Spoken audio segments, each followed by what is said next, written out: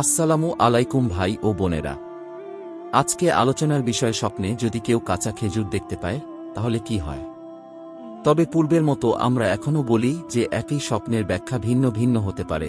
তা আপনার বয়স, পেশা, বিবাহিত নাকি অবিবাহিত, নারী নাকি পুরুষ ও আপনার বর্তমান পরিস্থিতির উপর নির্ভর করে। স্বপ্নে কাঁচা খেজুর দেখার ব্যাখ্যা আমরা কিতাব থেকে যেটুকু পেয়েছি, তাতেই আমরা বর্ণনা করেছি। আশা করি আল্লাহর অশেষ সহমতে আপনারা সকলেই ভালো আছেন, আলহামদুলিল্লাহ। স্বপ্নকে আরবি ভাষায় রুইয়া এবং ফার্সিতে খোয়াব বলা হয়। হজরত হুরায়রা রাদিয়াল্লাহু আনহু থেকে বর্ণিত, রাসূলুল্লাহ সাল্লাল্লাহু আলাইহি ওয়াসাল্লাম এরশাদ করেছেন, রুইয়ায় সালেহা তথা ভালো স্বপ্ন আল্লাহর নিকট থেকে দেখানো হয়। তবে স্বপ্নটি সত্য কিনা মিথ্যা হবে, তা সম্পূর্ণই আপনার উপর নির্ভরশীল। ইসলামিক হাদিস অনুসারে, যদি আপনি পাক পবিত্র অবস্থায় ডান কাত হয়ে ঘুম আসেন এবং রাত বারোটার পর থেকে ফজর আজানের আগে যদি কোনো ভালো স্বপ্ন দেখে থাকেন, তাহলে এটি আল্লাহর নিকট থেকে দেখানো হয়েছে এবং খুব অচিরেই আপনার স্বপ্নটি সত্য হবে, ইনশাআল্লাহ।